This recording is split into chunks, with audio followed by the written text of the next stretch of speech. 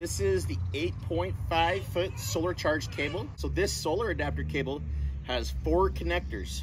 Anderson, an XT60 DC5521, and DC7909.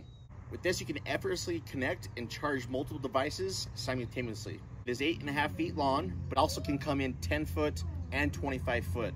It is 14 AWG and 16 AWG. Uh, it is made from 100% heavy duty copper wire and is waterproof. This is made for portable power stations, solar generators, batteries, uh, packs, and foldable solar panels.